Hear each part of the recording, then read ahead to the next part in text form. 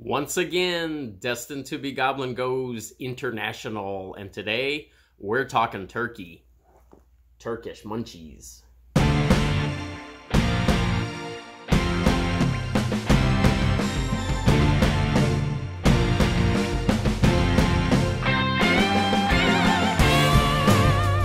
Hello, goblins and goblinettes. Welcome back to another edition of Destined to be Goblin. Destined Goblin here.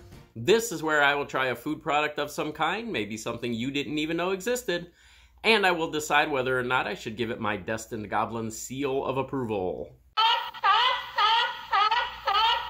Well, today's video has the potential to be actually quite a long one. So uh, if this one runs really long, if it's too long to watch all in one sitting, watch it in pieces maybe, we'll see.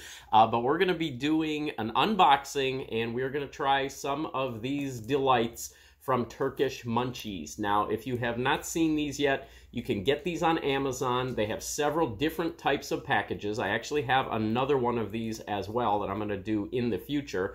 Uh, but this is sort of like their basic package here. There are supposed to be both sweet and savory snacks in here. It comes all nicely shrink wrapped. Um, it's got a little uh, description booklet inside which will tell you all of the different treats that are in there. And uh, these are all products from Turkey. So these are all Turkish delight type of things that we've got in here.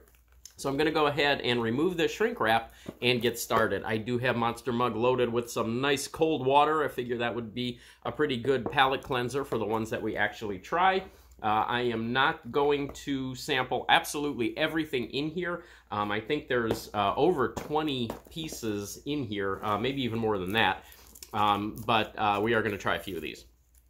Okay, so right off the bat, we get that nice little chart, that pamphlet that I was talking about. It tells you the nutritional information of all of the possible snacks. Now, not all of these are going to be in here, um, and depending on what time of the year you order, what uh, what type of these snack packs that you get, um, you can get different products in here. But in the front, or on the front of this, you've got all of the nutrition information for those items and then on the back, you've got all of the descriptions of them as well. So we will see what we encounter when we open up our box. So the shrink wrap is off. Let's open this up and see what it looks like. Uh, the little tab says enjoy. So now we open up and there we go. We actually get another book inside. So that book inside gives us sort of a, a, breakdown of all of the different snacks that could be in here with little descriptions uh, on them as well. So we'll see what we encounter as we go along. And here's a look at everything inside of the box. Again, like I said, there are, I believe there are over 20, possibly 30 items in here. Um, so lots of different types of things. Let's see what we get. We have popping candy. Everybody knows popping candy. Of course, we've got Pop Rocks here um, in the United States. Popios, Popios. So uh, that's interesting little popping candy. Then we've got Simit Cracker. There's a look at that one. Simit Cracker. That looks different. Uh, let's see if we can find out what that's all about. Okay, well, we're off to a really good start here because these Simit crackers are not even listed in this book. Um, there is a description for the Papillos, and what it says there is this candy has a surprise waiting for you. As soon as touching your mouth, this candy does not stand your energy and starts to explode one by one. Simply try and find out for yourself. So again, uh, just like Pop Rocks there. Um, these Simit crackers have no description, so we're going to open these up and see what these are. It's kind of a kind of a yeasty aroma coming off of that, sort of like something like a pretzel, but also a little bit nutty. So an interesting aroma there. There's one of those Simit crackers. Let's give this a taste and see. Oh, so I think the aroma that I was picking up on there that I couldn't quite place was sesame. because the flavor is very sesame, and I believe you can see the, the sesame on there. Sort of a cross between a pretzel, a cracker, and sesame flavor. Okay, we have another one of those crackers. These are pizza crackers. Now this one actually has a description, and this one says, um, not Eti Pizza, but pizza was first introduced to the to the Turkish market in early 90s and it was a failure. Turkish people did not like it and almost all pizza restaurants were closed within a few years. This was until Ninja Turtles started to screen on TVs. All of a sudden, Turkish mothers ended up with their children pestering and nagging to have pizza. This gave an opportunity to pizza producers to rise from their ashes. So there we go. We got a pizza flavored cracker there.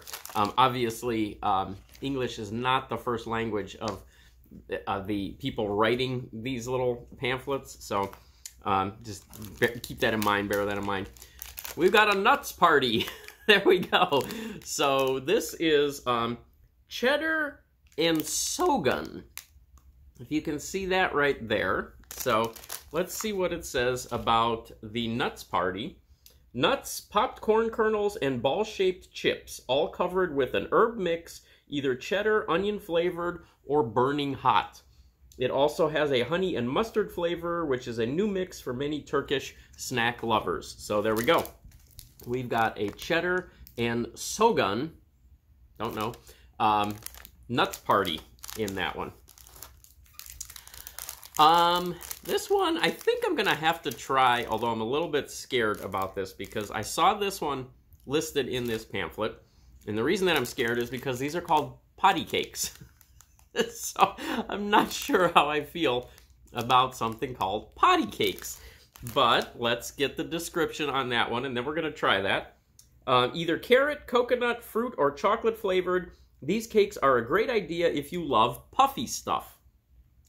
Potty has no meaning in Turkish, but some Turkish people call it as best packaged cake ever. Hope you agree with them. So let us see if this is the best packaged cake ever. I'm assuming we have carrot because there is a little picture of the carrot on that package. So carrot flavored potty cake. This is a very interesting item. So it is all one piece of a cake. It's sort of like a mini little carrot bread. Um, it's pretty light. It doesn't feel like it's very dense. Um, it has sort of a cake aroma to it. Nothing carrot, nothing that would make you think that this was carrot. I mean, just from the look of it, it could be pumpkin, it could really be banana, it could be anything. So here we go. Carrot potty cake. Hmm. That is really good. There is a good carrot flavor to it. There, this is as good as any pre-packaged cake that you're going to get in the United States. I want another bite of this. So I was looking at the ingredients uh, on the back, and it actually calls this a carrot and cinnamon cake. And I thought maybe there were pieces of ginger or something in there because there's something a little bit crunchy and a little bit sort of gummy. But I think it might just be the carrot itself and maybe um, sort of. Um, it says there could be traces of nuts in there. There might be a, a few nuts in there. But then also that cinnamon, I think, is packed in there pretty tightly. This is good. I would put that up against any prepackaged food brand any prepackaged snack cake whatsoever in the United States. That is as good as anything that you will get in the United States. Let's cleanse the palate and find a couple more. Okay, we've got Wanted Bumba right there. So I did see that one in our little guide. So this is very invaluable. If you saw my um, Taste of Japan unboxing that I did the one thing that I was very disappointed in was the fact that it didn't come with a description of all of the items. So I'm very glad to have this. A chocolate bar filled with caramel sauce or coconut and covered with puffed rice. It is the favorite of most consumers in Turkey. So there we go. Little candy bar right there. Wanted Bumba. Um, looks like this one might be hard to tell. That might be the coconut uh, right there. Then we have, well, this is interesting, um, Sin. so we, what looks like, um, sort of looks like a pecan pie from that angle, but when you look at it here, you can see that it's more like a cookie. It is very flat. It has an orange, uh, or a lemon maybe, a lemon and orange, something like that, um, on the um, package there. Um, let's see if I can find that one. Okay, I found that one that is called Sin, the classic one. Sin means genie in English. There we go. Many Turkish people have a superstition that the word sin calls for bad souls, and they never use the word sin in their daily lives, like you know who in Harry Potter series. Turkish people call sin as a three-letter entity, replacement for CIN, which accounts for three letters in total. What? if someone can explain that to me, I would appreciate it. But I guess this is a genie in cellophane. There we go. Not a genie in a bottle. Okay, we have a little, um, I've seen these before. I, well, I'm assuming that I've seen these before. These, these do look very familiar to things that we see here in the United States where there's sort of that marshmallowy, coconutty, um, little uh, sweet treat. This is called, well, I can't even see what this is called because this actually has a sticker over the, uh, the name of it. Let's see if I can find that one. Well, I really don't see that one anywhere in our descriptions, but it does say that you can get a mystery snack, so that might be one of those mystery snacks. The other cool thing about the descriptions here is that they give you a little description of a beverage to eat with the, or to drink with these rather. Um, from Turkish coffee to milk to soda to coffee to tea to cold beverages, it tells you what goes best with each of the snacks that you're sampling.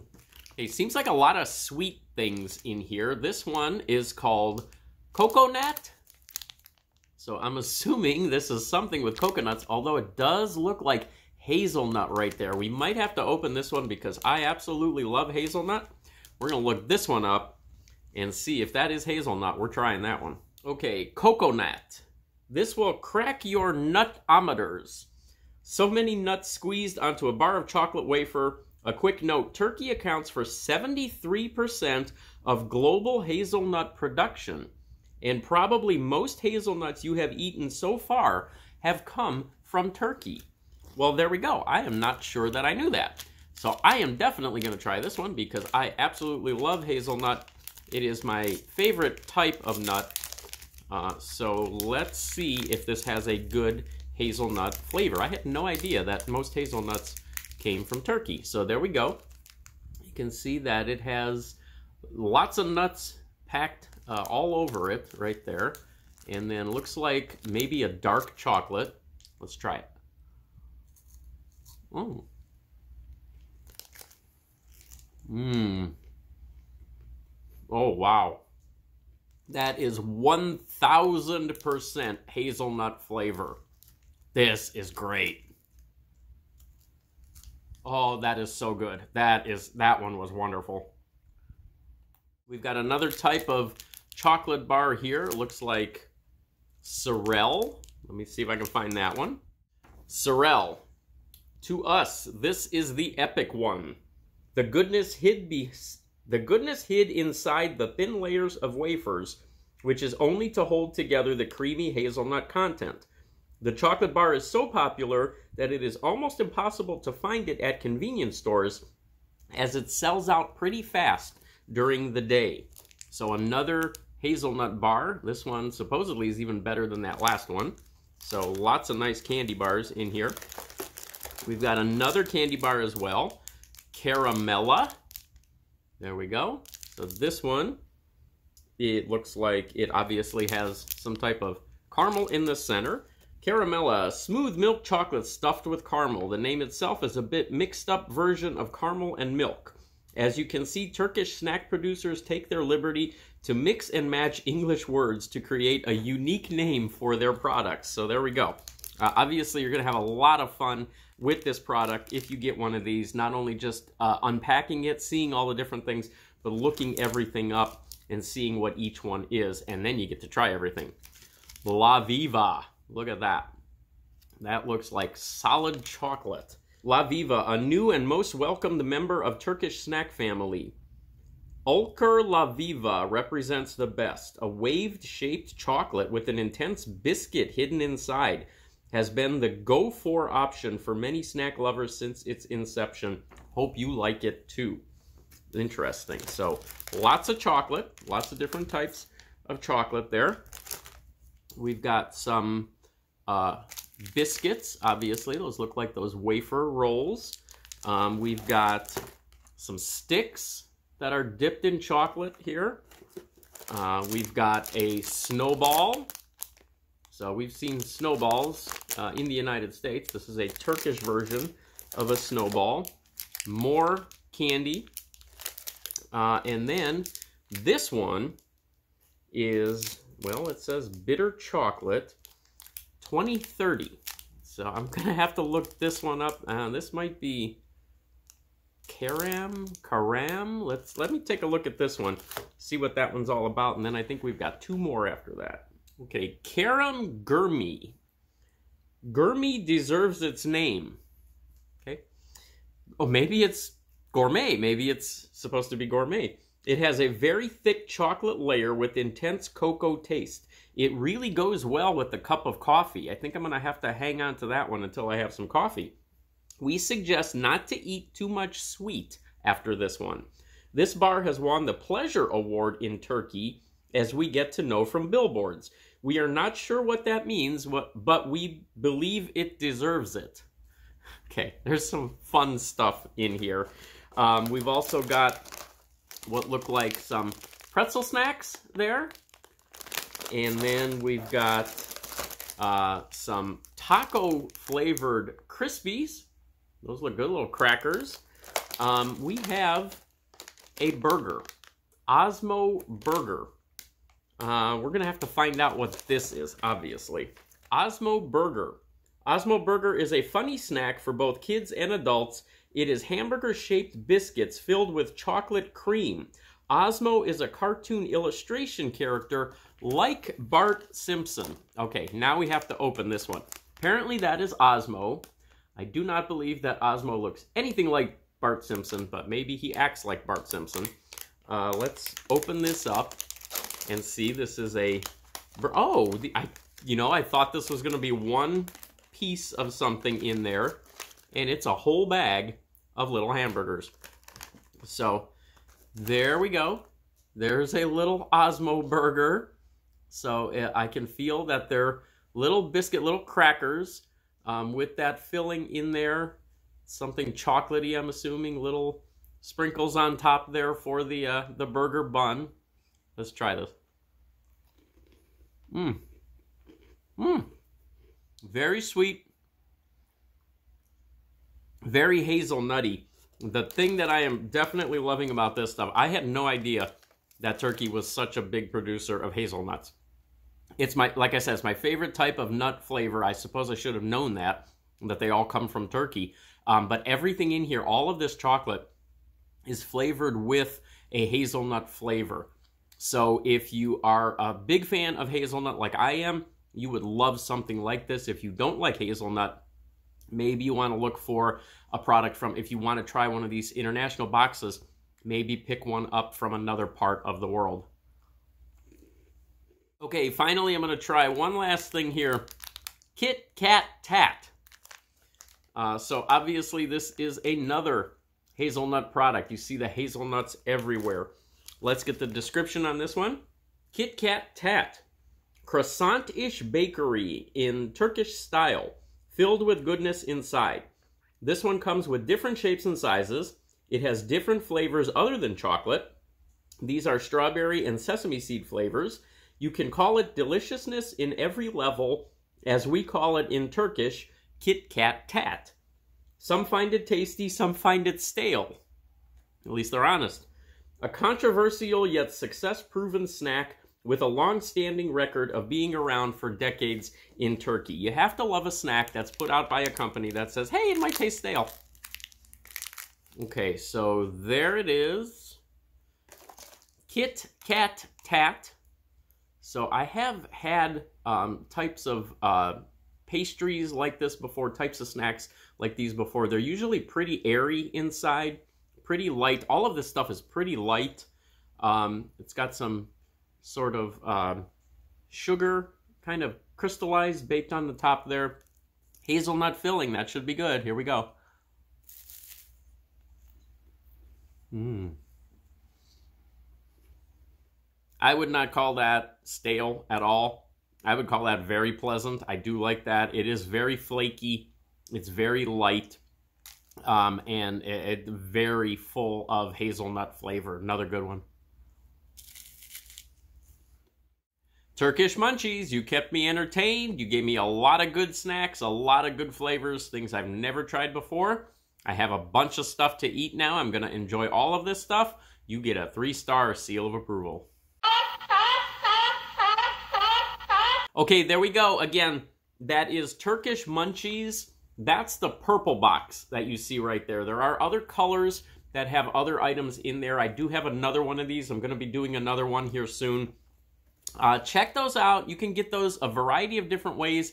I've seen them in some specialty stores um, where they kind of carry some international products and they tend to have more of like a popular culture type uh, of products, believe it or not. That's where you can usually find these. But the easiest way to get them is to get them through Amazon. Uh, they generally are about 25 to $30, depending on the size of the box that you get. You can get some that have more items that are a little bit more expensive. So check those out. I highly recommend trying these international snacks from around the world. See what else is out there. It's a lot of fun to try some of this stuff. I will catch you next time.